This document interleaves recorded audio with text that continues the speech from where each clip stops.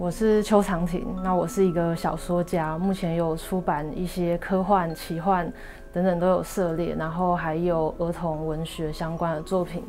那《心神》它就是一个比较偏纯文学的作品。我目前我居住在台东，也在台东大学通识中心教授中文阅阅读与写作课程。它是跟台湾的一些呃信仰，还有追求信仰的人有关的故事，但是又不仅仅局限在信仰，它。不单单是在指宗教上的，它可能也是有跟人的自我认同的追寻，或者是一些其他比较情感面的，或者是人与人之间的关系，还有一些跟一些台湾的一些传统的仪式，甚至是原住民他们的信仰是比较有关。这五篇小说它彼此互有一些关联，那主要它里面其实有一些事件是让他们联系在一起。那我其实觉得它有点像是一个呃悬疑，甚至是一个解谜的故故事。那他这五篇小说，他一开始他是有一个废弃的一个轮船，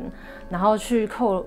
扣连着后面的几个故事。那他一开始是一个叫做《千万伤疤》的故事，那他在讲的是一个。呃，家庭失衡的少女，她的父母都失踪了，然后她跟一个有点像不良少年的一个男男男孩子叫小麦，然后他们两个人之间产生了一些比较特殊的，就是一个呃虐与被虐的关系，但他又可以连接到就是跟呃一些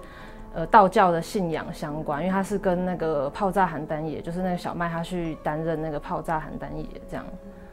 那第二篇花，它就是在讲有一个呃，算是酒店的女子，在酒店工作的女子，她的外婆以前是五六零年代台语片的一个演员，这样。那她的外婆相信有花精的存在，但是这个花精也因此让她的外婆就没有办法继续做演员的工作。那后来这个酒店女子她有跟一个。他的在酒店里面的一个顾客，就是产生一些比较暧昧的情愫。那那个顾客他其实又是上一篇《千万伤疤》里面那个讨债人里面的一个角色。那第三篇《火梦》呢，就是再回到一开始提到，其实他在第一篇就有一个废弃的轮船出现，那是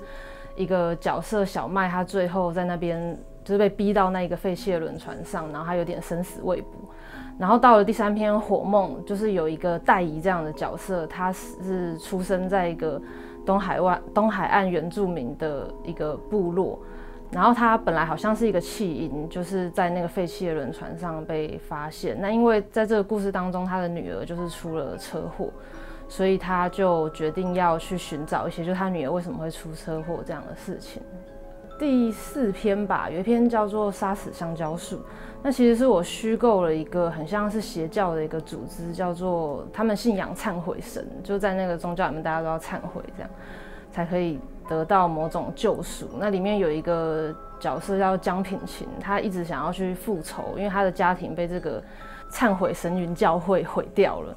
对，那所以他心中其实对于信仰，还有就是他一直以来他相信的这个忏悔神。